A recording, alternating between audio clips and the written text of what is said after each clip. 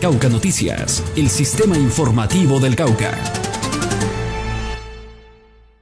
Eh, desde el Hospital San José de Popayán venimos desde hace varios años apoyando este proceso de la recuperación de los saberes y la importancia de la lactancia materna en el desarrollo humano.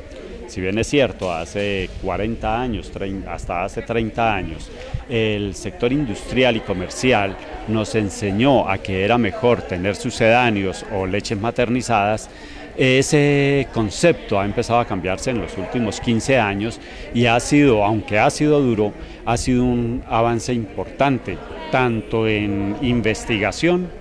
como en el conocimiento de nuestros nuevos niños que empiecen a nacer y a crecer en mejores condiciones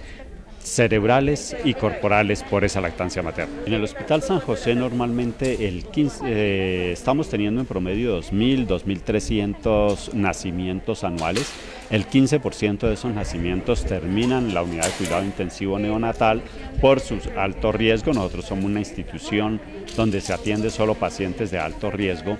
y eso representa entre 250 y 300 mamitas anual, que al año van al banco de leche ya para sus propios bebés o para poder compartir con otros niños de otras mamás que por algún motivo de salud no pueden amamantar.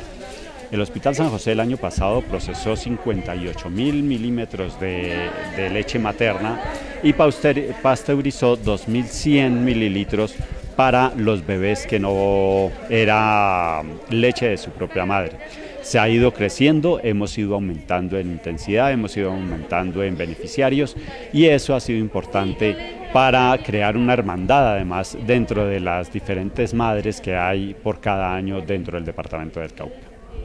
Cauca Noticias, el sistema informativo del Cauca.